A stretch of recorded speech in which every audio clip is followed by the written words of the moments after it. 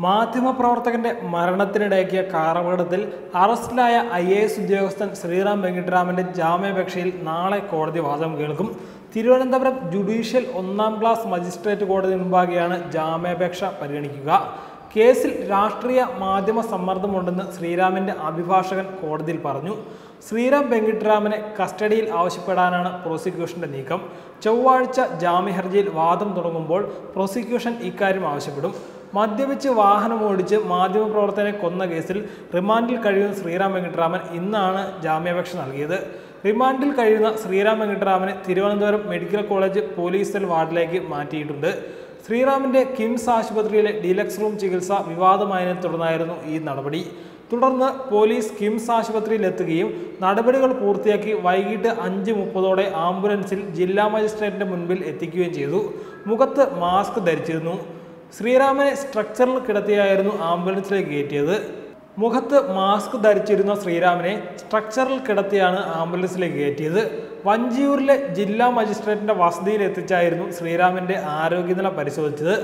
ആംബുലൻസിലേക്ക് magistrate നേരിട്ട് എത്തിയായിരുന്നു പരിശോധന നടത്തിയത്. ശ്രീറാമിനൊപ്പം ചികിത്സിച്ച ഡോക്ടറും ഉണ്ടായിരുന്നു. ശ്രീരാമന് ഗൗരവമായ ആരോഗ്യ പ്രശ്നങ്ങളില്ലെന്നാണ് മജിസ്ട്രേറ്റ് കണ്ടെത്തിയത്.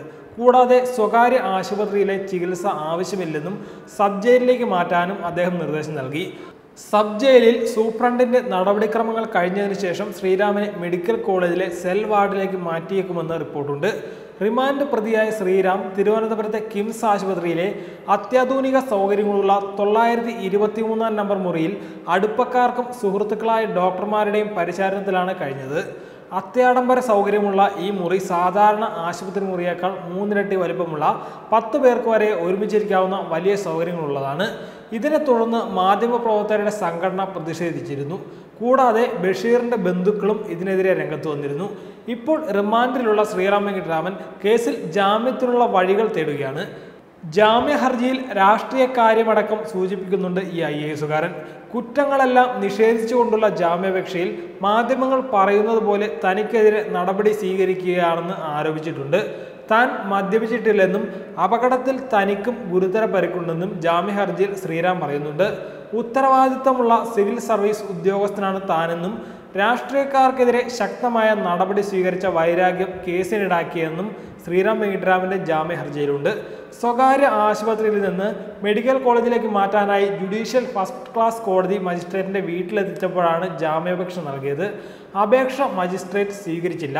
തിങ്കളാഴ്ച കോടതിയിൽ നൽകാൻ ഐ എ എസുകാരനോട് നിർദ്ദേശിക്കുകയായിരുന്നു.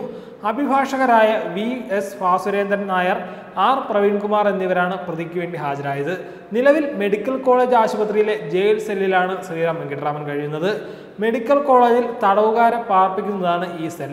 അതേസമയം ശ്രീറാം വെങ്കിട്ടരാമന്റെ രക്തപരിശോധനാ റിപ്പോർട്ട് നെഗറ്റീവ് ആണെന്നാണ് സൂചന.